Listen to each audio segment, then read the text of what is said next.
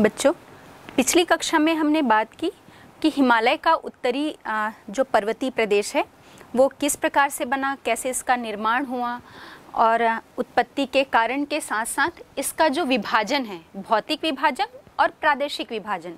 और साथ ही हमने ये भी देखा कि यहाँ रहने वाले लोगों की अर्थव्यवस्था कैसी है रहन सहन कैसा है, वो कैसे अपना जीवन यापन करते हैं, इन सभी बातों पर चर्चा की। आज हम बात करेंगे भारत के दूसरे महत्वपूर्ण प्राकृतिक विभाग पर, जिसे हम उत्तर का विशाल मैदान कहते हैं। बच्चों, भारत का ये उत्तर का विशाल मैदान हिमालय के ठीक नीचे दक्षिण में पड़ता है और इसका निर्माण भी जो है, वो हिमालय के निर्माण के बाद हुआ है। और इसीलिए इस विशाल मैदान को हम हिमालय का उपहार भी कहते हैं। और उपहार इसलिए भी कह रहे हैं क्योंकि इसका जो निर्माण है वो हिमालय से निकलने वाली जो नदियाँ हैं और इसके साथ ही उत्तरी जो प्रायद्वीपीय पठार है उससे निकलने वाली नदियों के द्वारा जो अवसाद लाए गए हैं उनके जमाव के द्वारा इस आ, मैदान का निर्माण हुआ है। इसलिए भी हम इसे हिमालय का प्राकृतिक उपहार कहते हैं।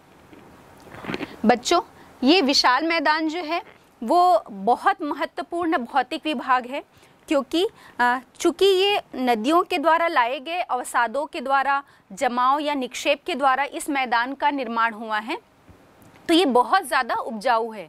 कृषि के दृष्टिकोण से ये क्षेत्र जो है वो बहुत महत्वपूर्ण है, और इसीलिए हम ये देखेंगे कि भारत की जो सर्वाधिक जनसंख्या और जनसंख्या घनत्व, दोनों ही चीज़ें जो है, वो हमें इसी क्षेत्र में सबसे अधिक मिलती हैं।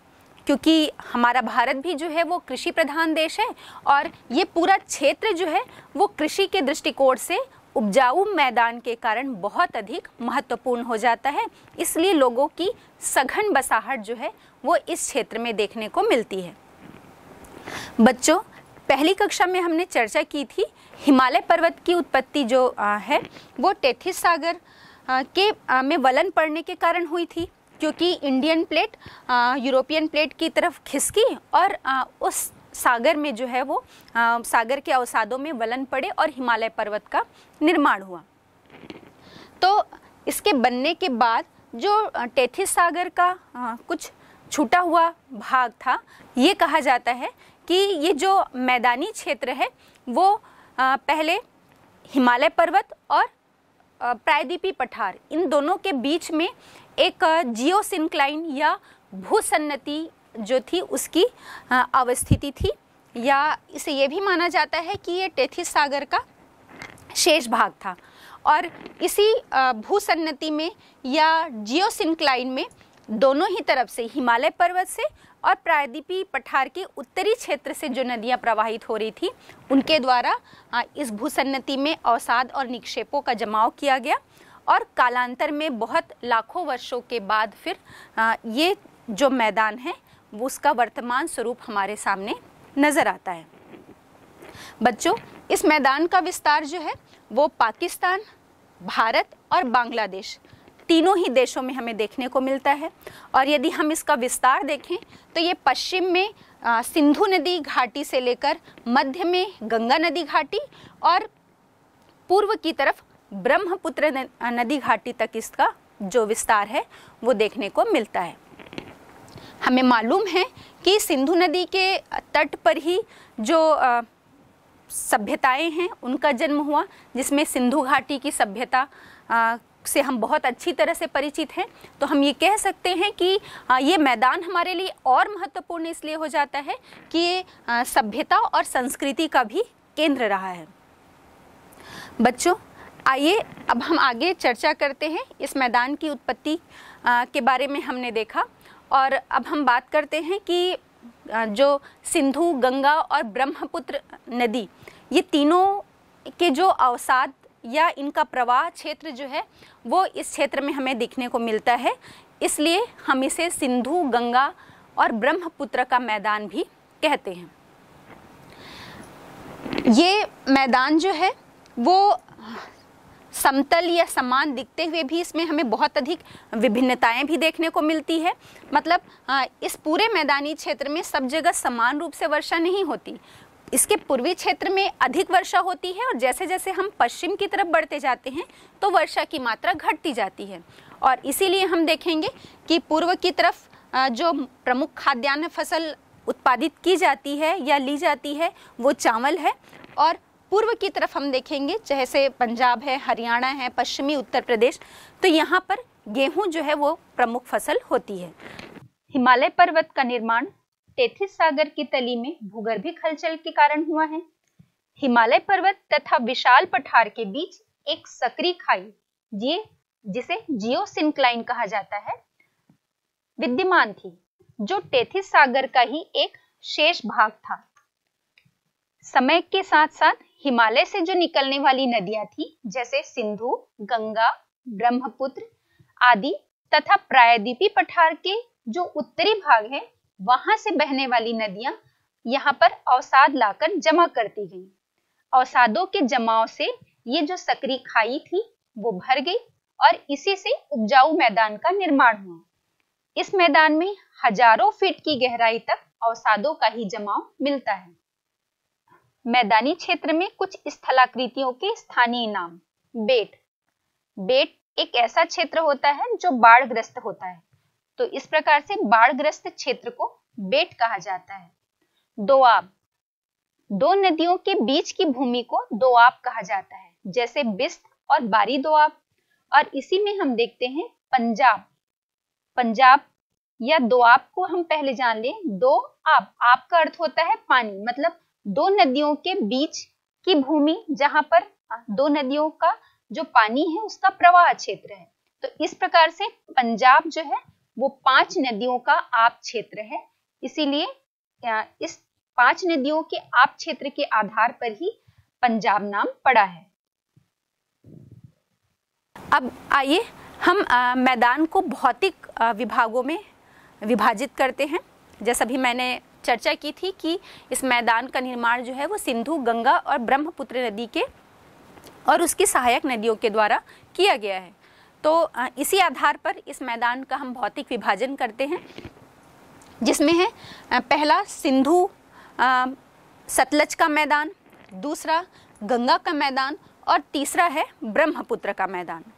तो सबसे पहले हम बात करते हैं सिंधु सतलज के मैदान पर। तो पहले हम चर्चा करते हैं सिंधु सतलज का मैदान। बच्चों मैदान के इस हिस्से को भारत में पंजाब हरियाणा का मैदान के नाम से भी जाना जाता है, क्योंकि इसका विस्तार जो है वो प्रमुख रूप से पंजाब और हरियाणा राज्यों में है। ये बहुत ही उपजाऊ भूभाग है इस मैदानी क्षेत्र का। और यहाँ पर सिंचाई के भी जो हैं, वो बहुत से साधन विकसित किए गए हैं। ये पूरा मैदान का ये जो क्षेत्र है, वो सिंधु और उसकी जो सहायक नदियाँ हैं, उनके द्वारा इसका निर्माण किया गया है। इसी क्षेत्र में जब भी, जैसा भी मैंने बताया कि पंजाब और हरियाणा में इसका प्रमुख रूप से विस्तार है तो हम देखेंगे इसमें कुछ विशेष स्थलाकृतियाँ भी देखने को मिलती हैं, जिसमें पहला है जैसे बेत बेत ऐसे क्षेत्र के लिए इस टर्म्स को यूज़ किया जाता है, जो बाढ़ग्रस्त होते हैं। बाढ़ग्रस्त क्षेत्र को बेत कहा जाता है। इसी प्रकार से दोआब जो पंजाब, हम कह रहे हैं, पंजाब का नाम ही इसलिए पड़ा है क्योंकि ये पाँच नदियों का आब क्षेत्र है। तो दोआब किसे कहते हैं? दोआब दो नदियों के मध्य की जो भूमि होती है, मध्य का जो क्षेत्र होता है, उसे हम दोआब कहते हैं। तो ठीक इसी प्रकार पंजाब जो है, वो पाँच नदियों का आप क्षेत्र है, जिसमें सिंधु की जो सहायक नदियाँ हैं, सतलज, रावी, ब्यास चिनाब और झेलम, इन पाँच नदियों के आप क्षेत्र से पंजाब का नाम जो है पंजाब का जो है नामकरण हुआ है। तो यहाँ पर ये विशेष स्थलाकृतियाँ भी हमें देखने को मिली है। अब हम ये देखते हैं कि इस पूरे क्षेत्र में, जैसे पंजाब, हरियाणा और जो पश्चिमी उत्तर प्रदेश का क्षेत्र है, यहाँ पर नलकूपों और नहरों के द्वारा सिंचाई की अच्छी व्यवस्था की गई है, जिसके कारण यहाँ पर फ़सलों का उत्पादन भी जो है वो बहुत अधिक देखने को मिलता है। और साथ ही हम देखेंगे कि इसी क्षेत्र में हरित क्रांति के द्वारा भी, शासन के द्वारा एक अच्छा प्रयास किया गया है कि हरित क्रांति को अपनाकर इस पूरे क्षेत्र में उत्पादन को बढ़ावा दिया गया है। अब आप कहेंगे कि हरित क्रांति क्या है? और मुझे लगता है कि आप इस शब्द के साथ साथ इस आ, इस प्लान से इस योजना से आप बहुत अच्छे से परिचित होंगे। हरित क्रांति में फ़सलों के अधिक उत्पादन को प्राप्त करने के लिए जो अच्छी किस्म की बीजें हैं इसके साथ ही साथ उर्वरक या कीटनाशकों का जो प्रयोग है और साथ ही जिन क्षेत्रों में सिंचाई की सुविधा उपलब्ध नहीं है वहाँ पर सिंचाई के द्वारा और जहाँ पर सिंचाई है, वहाँ पर और अधिक सिंचाई की व्यवस्था करके वर्ष में दो से तीन फसली क्षेत्र वहाँ पर बनाया गया है। तो हाइब्रिड इसीलिए हम कहते हैं कि उच्च किस्म या उच्च तकनीक का प्रयोग करके हरित क्रांति के माध्यम से फ़सलों का जो उत्पादन है, वो अधिक से अधिक लेने का प्रयास किया जाता रहा है। इसीलिए हम इसे हाई यील्डिंग वेराइटी प्रोग्राम भी कहते हैं। अब इसका जो सर्वाधिक प्रभाव है, वो मैं फिर से आपको बताना चाहूँगी कि पंजाब, हरियाणा और पश्चिमी उत्तर प्रदेश में देखा जाता है। और हरित क्रांति का सर्वाधिक प्रभाव गेहूँ की फ़सल में देखने को मिला है। इसके साथ ही साथ जो ज्वार है, बाजरा है, मक्का है और साथ ही अब उन क्षेत्रों में धान की भी अच्छी फ़सलें ली जाती हैं। और ये पूरे ऐसे क्षेत्र हैं जहाँ पर वर्ष में दो से तीन फ़सलें ली जा रही हैं, क्योंकि सिंचाई की सुविधा का यहाँ पर इन क्षेत्रों में विस्तार किया गया है। और यहाँ पर नदियों के माध्यम से चूँकि एक समतल मैदानी क्षेत्र है, इसलिए नदियों के माध्यम से नहरें जो हैं वो निकाली गई हैं और नहरों को बहुत आसानी से खेतों तक पहुँचाया जा रहा है नहरों के माध्यम से पानी को। इसलिए सिंचाई की बहुत अच्छी व्यवस्था जो है, वो इस क्षेत्र में उपलब्ध हो पा रही है। अब हम ये देखेंगे कि जो सतलज नदी है, वहाँ पर नांगल नामक स्थान पर भाखड़ा नांगल बाँध जो है, वो बनाया गया है। और इस बाँध के बनने के बाद से हम देखेंगे कि पंजाब में नहरों का और अधिक विकास हुआ और साथ ही साथ पन बिजली का भी जो उत्पादन है, वो होने लगा। जिसके फलस्वरूप इस पूरे क्षेत्र में घरों के साथ साथ जो मिलने वाली बिजली है वो घरों के साथ साथ उद्योगों में भी इसको उपलब्ध कराया गया, जिसके कारण इस क्षेत्र में औद्योगिकरण का अच्छा खासा विस्तार हुआ है या विकास हुआ है। नदियों द्वारा बहाकर लाए गए अवसादों के निक्षेप के आधार पर इस मैदान में विभिन्न प्रकार की स्थलाकृतियाँ बनती हैं। मिट्टी के निक्षेप के आधार पर इस मैदान को निम्नलिखित भागों में बांटा गया है। से भाबर, तराई, बांगर, खादर। भाबर, शिवालिक की तलहटी में नदियाँ पर्वत से नीचे उतरते समय छोटे छोटे चट्टानी टुकड़ों का जमाव कर देती हैं। इसी भू आकृति को भाबर के नाम से जाना जाता है। इस क्षेत्र में पानी पत्थरों के जमाव के नीचे से बहता है। तराई, भाबर प्रदेश में विलुप्त हुई नदियाँ मैदानी भागों में फिर से दिखाई देने लगती हैं और उसका जल अधिक विस्तृत क्षेत्र में फैल जाता है जिससे यह एक दलदली क्षेत्र बन जाता है जिसे तराई कहा जाता है। बांगर उत्तरी मैदान का एक बड़ा भाग जो पुराने जलोढ़ मिट्टी का बना है पुराने जलोढ़ मिट्टी आ, का बना है मतलब ऐसा क्षेत्र जहाँ पर बाढ़ का पानी नहीं पहुँच पाता इस क्षेत्र को बांगर के नाम से जाना जाता है। ये मैदानी क्षेत्र अपेक्षाकृत कम उपजाऊ होती है, जहाँ पर मोटे अनाज की खेती की जाती है। खादर। वर्षा के समय में जब नदियों के बाढ़ का जो पानी होता है, मैदान के जिस क्षेत्र में हर वर्ष जमा किया जाता है, या हर वर्ष वहाँ तक बाढ़ का पानी पहुँच पाता है, जिससे उस क्षेत्र में नवीन काप मिट्टी का निक्षेप होता है। और इन निक्षेपों को ही खादर कहा जाता है। अतः हम कह सकते हैं कि ऐसे क्षेत्र जहाँ पर नदियों के बाढ़ का पानी प्रति वर्ष पहुँच पाता है और उसके माध्यम से वहाँ पर एक नवीन काप मिट्टी का जमाव जो है वो प्रति वर्ष होता है तो नवीनतम जलोढ़ मिट्टी का जो क्षेत्र होता है वो खादर कहा जाता है।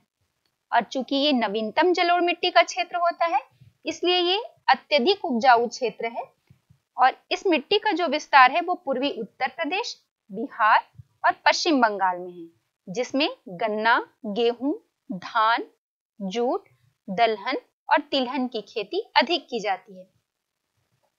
गोखुर झील। गोखुर झील का निर्माण नदी मोड़ से होता है। जब कभी नदी में बाढ़ आती है तो नदी अपने घुमावदार मार्ग को छोड़कर एक सीधे मार्ग से प्रवाहित होने लगती है। इस प्रकार से छूटे हुए घुमावदार भाग में जल का भराव हो जाता है, जिसे छाड़न झील या गोखुर झील के नाम से जाना जाता है। इसकी आकृति गाय के खुर के समान होने के कारण इसे गोखुर झील कहते हैं। अब दूसरा इसका भाग है गंगा का मैदान। इस मैदान का जो निर्माण है, वो गंगा और उसकी सहायक नदियों के द्वारा आ, किया गया है नाम से ही स्पष्ट हो रहा है।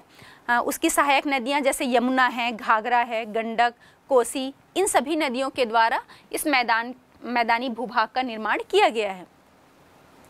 गंगा और उसकी सहायक नदियों ने आ, मैदान के इस क्षेत्र में बारीक काप मिट्टियों का आ, जमाव किया है जिससे इस मैदानी भाग का निर्माण हुआ है।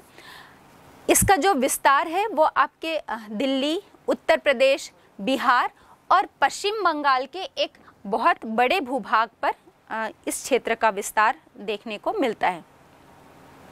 यहाँ पर जो भूमिगत जल है, वो बहुत कम गहराई पर मिलती है और यहाँ मैदानी, इस मैदानी क्षेत्र में हम देखेंगे कि मानसूनी हवाओं के द्वारा भरपूर वर्षा होती है और इसके कारण कभी कभी नदियों में, इस क्षेत्र में बाढ़ भी आ जाती है।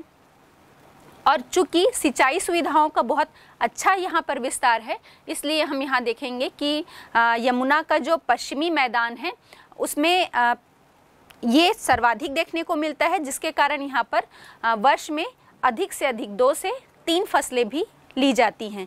यह हम इसे कहें कि गहन कृषि का इस क्षेत्र में हमको विस्तार देखने को मिलता है।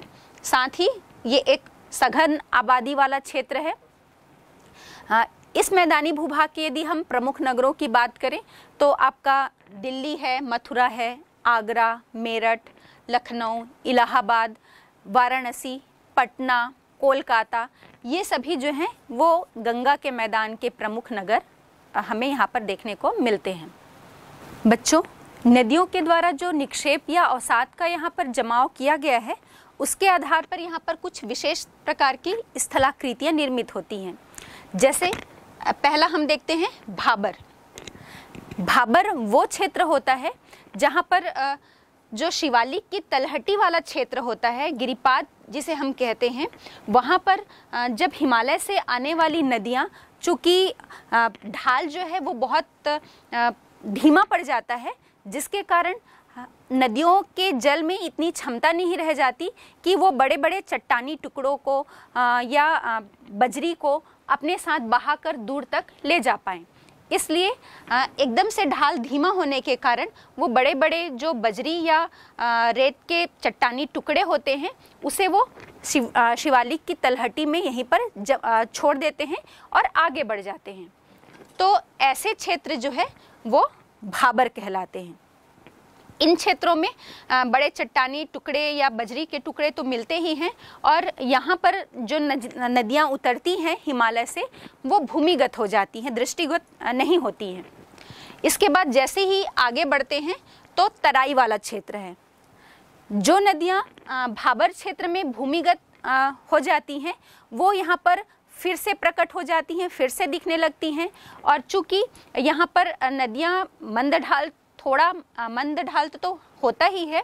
और हम ये देखेंगे कि जो भाबर क्षेत्र में हमको बड़े चट्टानी टुकड़ों के निक्षेप या अवसाद मिलते थे, अब वो इस क्षेत्र में आने पर जो बारीक चट्टानी टुकड़े या छोटे चट्टानी टुकड़े जो हैं, छोटे बजरी या रेत का जमाव हमें, बारीक रेत का जमाव यहाँ पर देखने को मिलता है। और चूँकि वो नदियाँ यहाँ पर फिर से दिखने लगती हैं और एक पूरे बड़े क्षेत्र में वो फैल जाती हैं। इसलिए पूरा क्षेत्र जो है, वो एक दलदली क्षेत्र के रूप में निर्मित हो गया है। इसे हम तराई क्षेत्र कहते हैं और यहाँ पर विविध प्रकार की वनस्पतियों की जाति भी देखने को मिलती है। और अब वर्तमान में, हालाँकि पहले इसमें कृषि करना संभव नहीं था या बहुत अधिक ये कृषि के योग्य नहीं था, लेकिन अब इस क्षेत्र को भी कृषि के दृष्टिकोण से इसका विकास जो है वो किया जा रहा है ताकि यहाँ पर भी कृषि कार्य अच्छी तरह से हो पाए। फिर आगे जैसे बढ़ते हैं तो तीसरा इसका तीसरी स्थलाकृति आती है बांगर। बांगर वो क्षेत्र होता है आ, हम ये कह सकते हैं ये अपेक्षाकृत ऊँचा क्षेत्र है जहाँ पर जब नदियों में बाढ़ आता है तो नदियों के बाढ़ का पानी यहाँ पर नहीं पहुँच पाता। तो हम इसे कहते हैं कि ये पुरान आ, पुरानी जलोढ़ मिट्टी का क्षेत्र होता है। अब चूँकि ये पुरातन जलोढ़ मिट्टी का क्षेत्र है, इसलिए यहाँ पर बहुत ज़्यादा इस मिट्टी में उपजाऊपन नहीं होता है, उपजाऊ नहीं होती है यहाँ की मिट्टियाँ, इसलिए कृषि के दृष्टिकोण से बहुत अधिक महत्वपूर्ण नहीं होता। फिर हम आगे आते हैं तो हमको क्षेत्र मिलता है खादर। खादर अपेक्षाकृत बांगर की अपेक्षा एक निचला भूभाग होता है, जहाँ पर नदियों के बाढ़ का पानी जो है वो हर वर्ष पहुँच पाता है। अब हर वर्ष नदी के बाढ़ का पानी यहाँ पर पहुँच रहा है तो प्रतिवर्ष हम देखेंगे कि बाढ़ के द्वारा नवीन जलोढ़ मिट्टी या बारीक काप मिट्टी का जमाव जो है, वो इस क्षेत्र में किया जाता है, जिसके कारण ये एक नवीनतम जलोढ़ मिट्टी का क्षेत्र होता है और कृषि के दृष्टिकोण से बहुत ही उपजाऊ भूभाग होता है। इसका बहुत महत्व है कृषि के दृष्टिकोण से। तो इस क्षेत्र को हम खादर कहते हैं। तो अभी हमने क्या देखा? भाबर, तराई, बांगर और खादर। ये चार भूभाग हैं अवसादों के, निक्षेप या जमाव के दृष्टिकोण से मैदान के। क्योंकि यहाँ पर प्रतिवर्ष बाढ़ का पानी और वो बारीक काप मिट्टी का जमाव होता है, इसलिए हम यहाँ पर देखेंगे कि जूट है, गन्ना है, दलहन फ़सलें, इन सभी का ये सभी फ़सलें जो है वो प्रमुख रूप से इस क्षेत्र में ली जाती हैं और इसका विस्तार जो है वो बिहार, पश्चिम बंगाल और उत्तर प्रदेश में हमें देखने को मिलता है।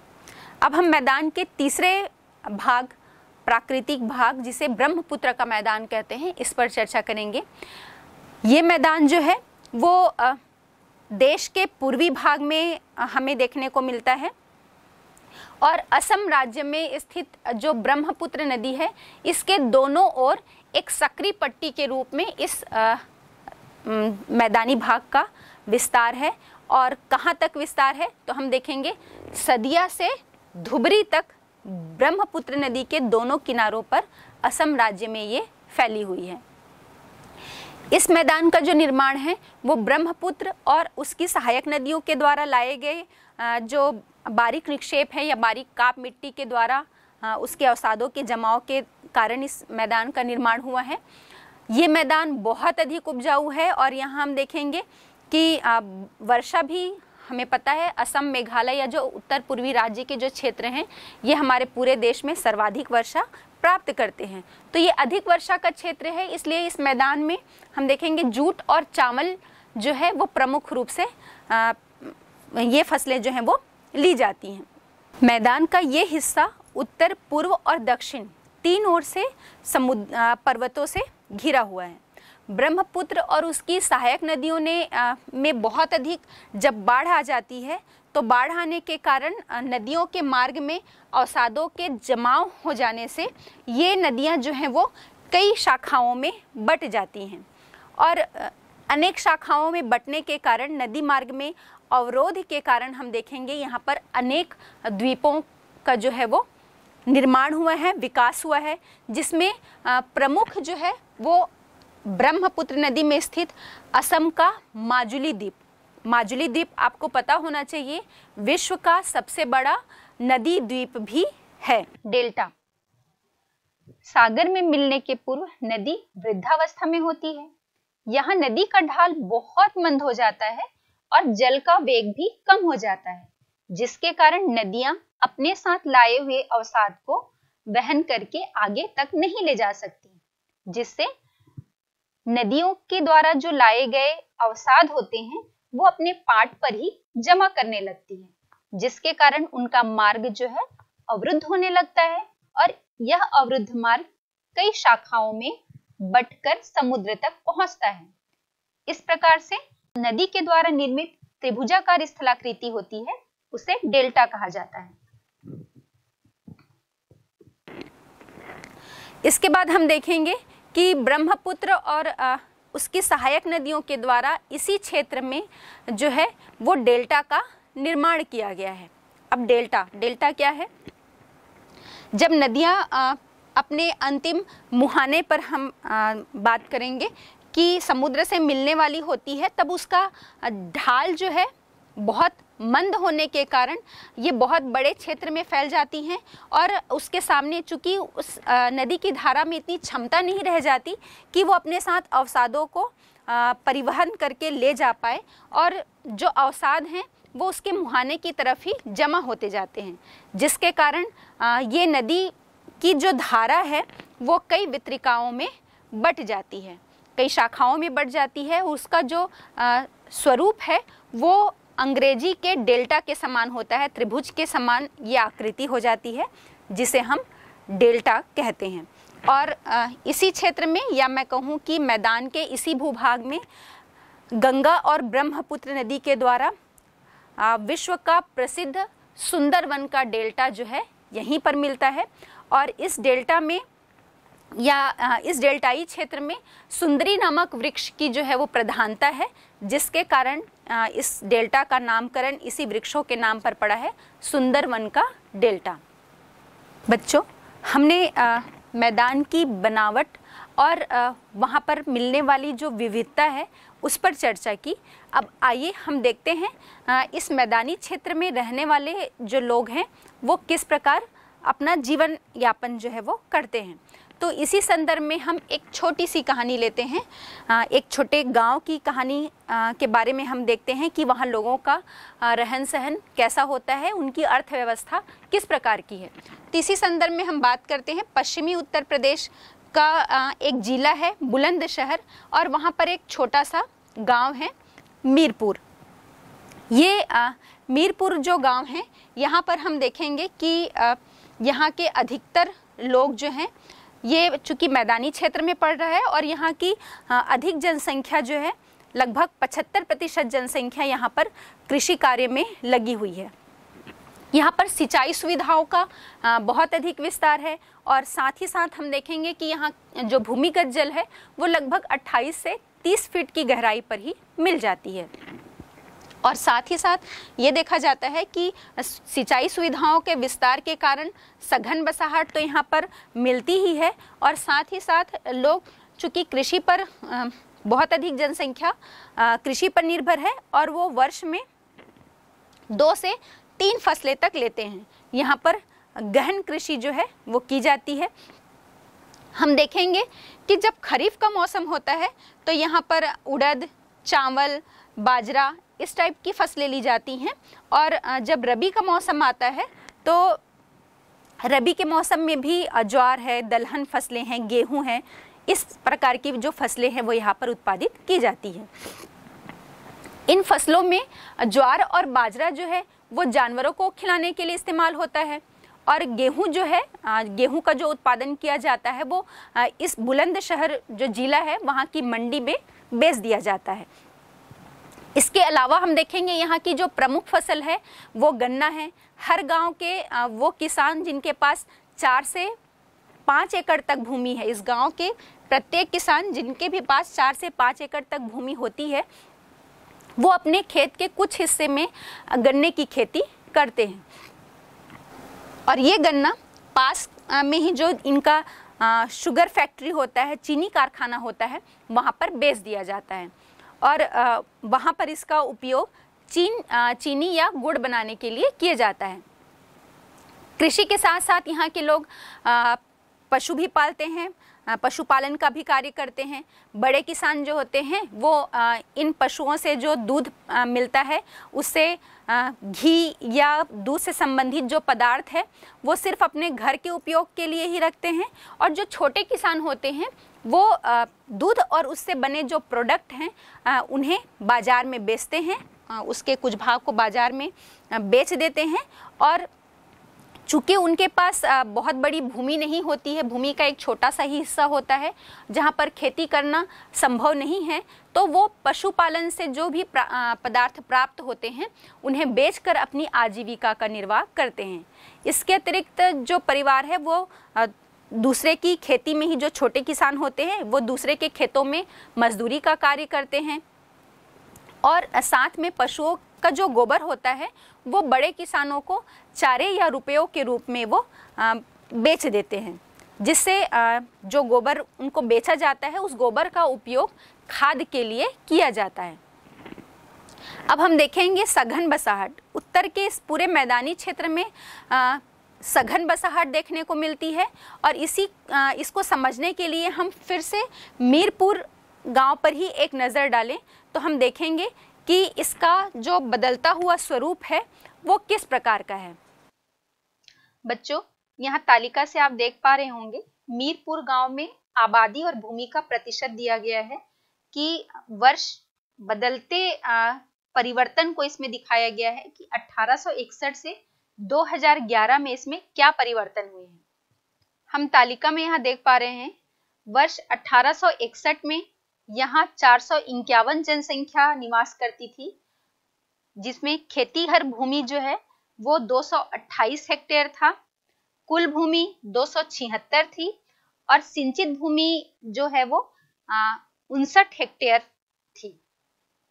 अब 1921 में हम ये आंकड़े देख रहे हैं तो जनसंख्या बढ़कर चार सौ इक्यावन लोग से होकर 731 लोग अब यहाँ निवास करते थे। खेतीहर भूमि भी 228 से दो हो गई। कुल भूमि जो है वो दो सौ छिहत्तर ही है और सिंचित भूमि भी बढ़कर उनसठ से 131 हेक्टेयर हो गई। 1961 में हम देख रहे हैं, जनसंख्या 1227 हो गई। खेतीहर भूमि जो है उसमें थोड़ी कमी देखने को मिल रही है। 260 हेक्टेयर हो गई। कुल भूमि का जो है वो उतनी ही है, दो ही है।